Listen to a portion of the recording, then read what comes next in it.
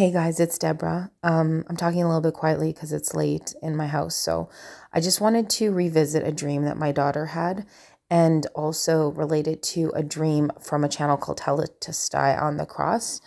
And I'm going to explain the connection. So um, basically, this couple that you see in front of you is a kids show, a Canadian kids show on YouTube, and they do like traveling performances and um, they like work sometimes with the Wiggles from Australia. And my kids have been watching them for like the last maybe five years, so way before anything to do with Ukraine. And if you see they're yellow in yellow and blue, everything they have is yellow and blue. They live in like this yellow and blue house, and everything's about that. Anyway, so my daughter, maybe two years or so back, had a dream about this couple it was a three part dream. So she had a dream, then she, you know, woke up, normal day, whatever, and then a little while later had another dream, and then a third dream, three different days that all went together with the one dream. it ended with the rapture. And I've gone over these dreams before, but so I won't go over them, but I just want to um link it up with like some crazy stuff with dreams from way past, way in the past um, from Tetelestai on the Cross. So if you guys don't know that channel, um, they were one of the first channels I ever saw on YouTube. So they're not posting right now, but their dreams initially, like many of them have come to pass, like in reality. So, um, and they dream about the rapture and lots of positive stuff. They also dream about like, you know, judgment and disaster, but they dream about the rapture a lot. So when I started watching them years and years and years ago, maybe like I guess four years ago, or I don't know, it was a long time, five years ago maybe, they um, were talking about yellow and blue a lot. They saw, um, well, they had many dreams. It's a long story, not just the dream I'm going to share here, but some other dreams about yellow and blue. I mean, the fact that they would see this so long ago, and my, da- my daughter had this dream way before the invasion um, of this singing couple. This is not a fluke. Like I said, my daughter's dream was a three parter and it related to her eating french fries with her little sister. That sounds weird, but in the dream, she was singing a song or listening to a song saying something about oil. The oil is holy or something about oil being holy. Oil, I forget the exact words, but french fries are made in oil. And she was eating these fries and she was giving them to her little sister, and then she, then by the third dream, there was the rapture. That's all I'll say. Um, it related to a famine. It related to a bunch of things. Um, there was actually a potato. It related to a potato famine, and it's funny because she was eating these oily French fries, and she had the, lots of them that she could share. So anyway, that's a different story. But the point is, it was related to this couple, and um, so now let me get into um, to Tetelestai on the cross their their dream. So yeah, this is the channel. Um, I believe it means it is finished on the cross Tetelestai on the cross. And um, she, it says here, third plane crash dream confirmation for husband, blue and yellow jet. So her husband had been having all these plane dreams where this blue and yellow jet was crashing and burning. And um, uh, trust me, I have been watching their channel for a long time. This this video that I'm showing here, look, it says five years ago she they continued to have this blue and yellow stuff. And look at what is happening. They did see the future. God did show them the future just like he showed my daughter. Now they were a singing group but the thing is in the dream uh, my daughter knew she was a little annoyed at them. She didn't know why. There's way more to the dream but she was annoyed at them. So it wasn't a good thing.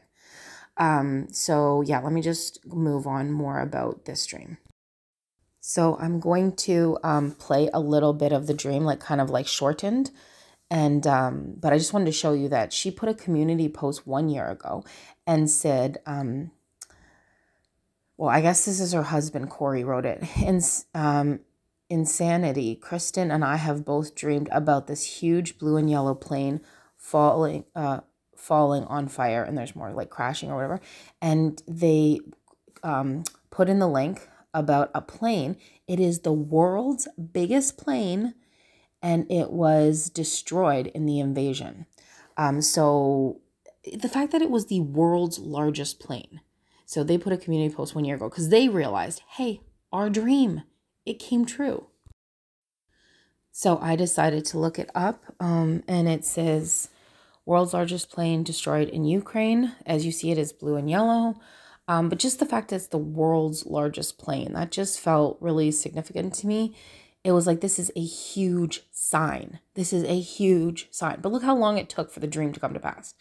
And I noticed the number on the plane was 225. So I thought I'd look that up. But look, it it crashed. This was his dream. Well, when I play the video, it'll be very short, but I'll play the video like you'll see. Like these people, that was five years ago, and he dreamt it years before the video I'm going to play you. So I think it was like maybe seven to eight years old. I mean, that's the hard thing. Sometimes we get these messages, dreams, words from the Lord, a scripture or something, and we're like, it takes years to come to pass. I mean, so I'm not saying that that's going to happen with something, you know, if you're feeling like frustrated or whatever, but I'm just I like about something you have now. I'm just saying this is we're not in control. that's going to be my next video. We are not in control and it's what God showed me about how we need to move forward with all of this. Um, but I looked 225 up in Strong's and it means the truth. The truth to consent and agree.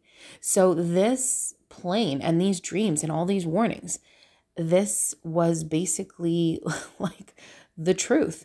And it's more than even the truth like um consent and agree like there's two like my daughter and them they both dreamt this. But if you look at the greek it says truth but not merely truth as spoken truth of idea reality sincerity truth in moral sphere divine truth revealed to man. What? Straightforwardness what that plane is divine truth revealed to man.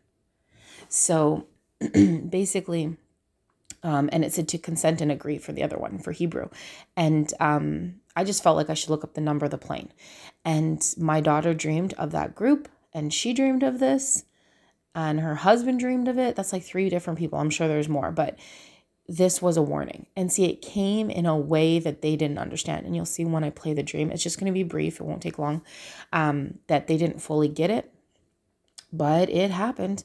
You know, some dreams you just know, you're like, something is different about this dream, especially when it's symbolic, but it could have literal, it, it was literal, but symbolic too, because it didn't happen the way she saw it in the dream or the way her husband saw it but it literally happened too. So it was like both.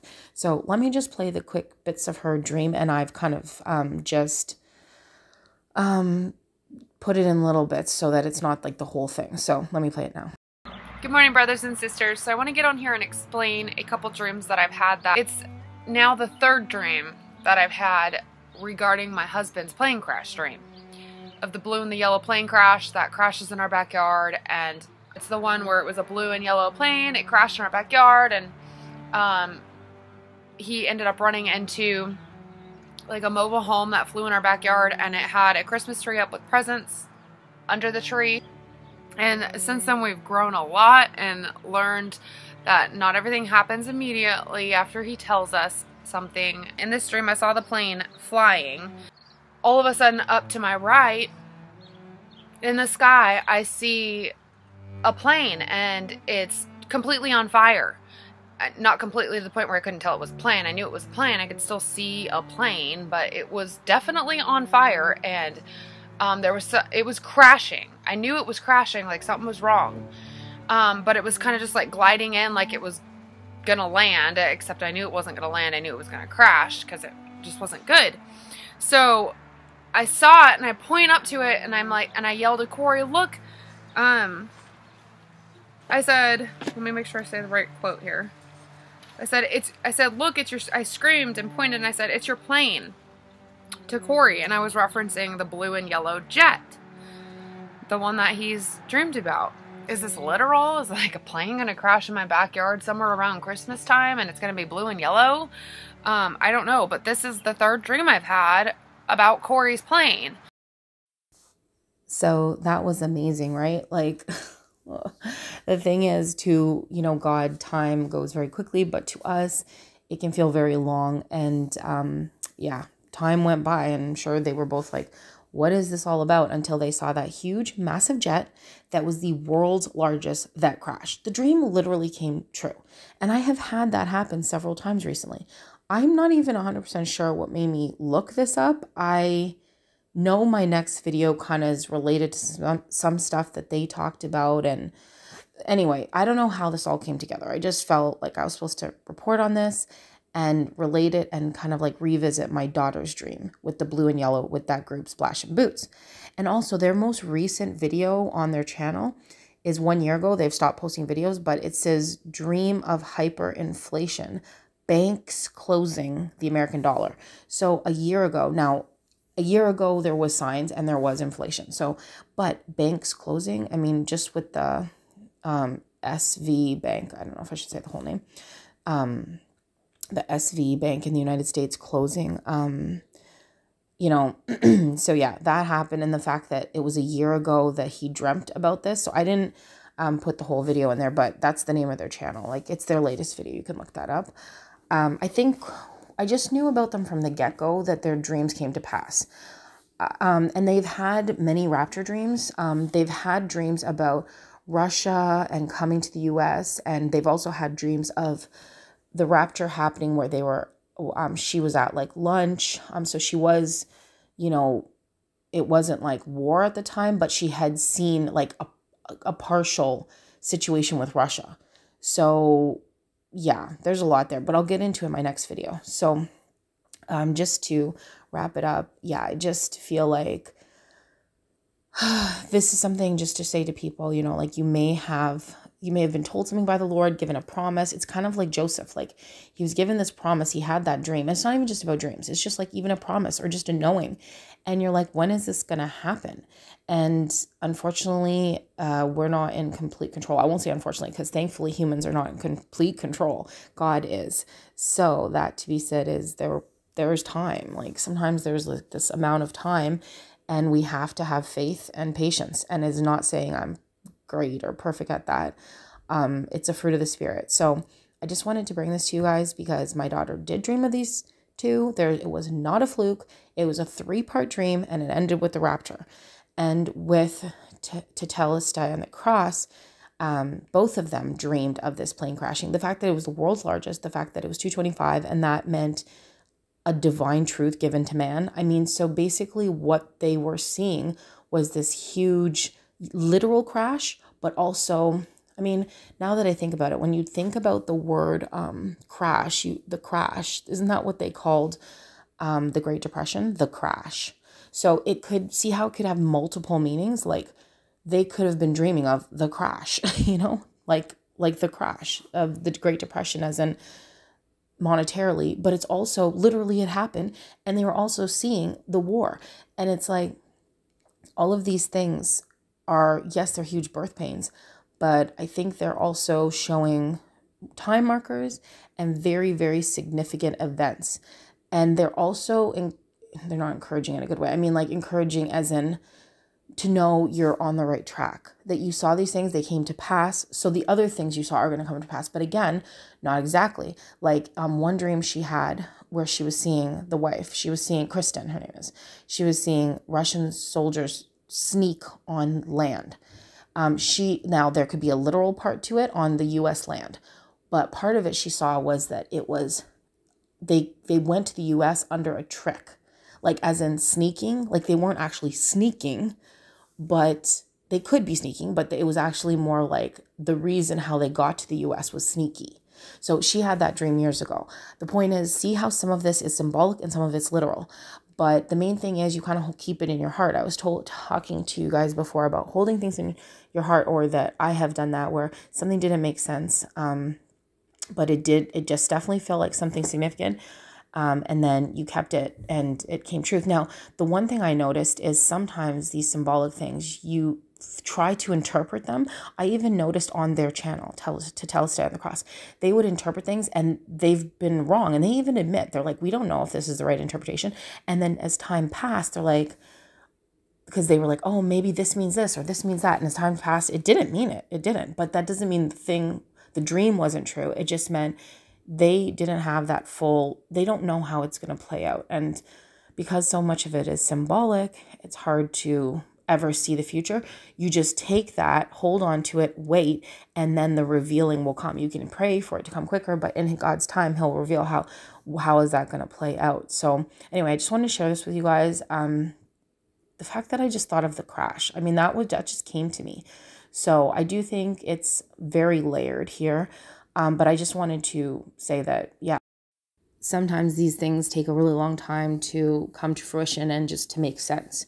So I guess I'll leave it at that. My next video is very similar to this one. It's with regards to another dream and also kind of an interpretation of that and related to world events yet again, like this plane crashing and the also the the inflation, the banks, um, and the crash, which I just can't believe I just thought of that with relation to like um, like the Great Depression and just financial crash and all that stuff.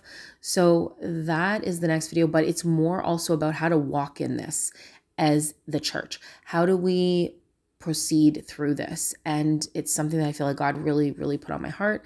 So I want to share that. And also, He laid on my heart more about community.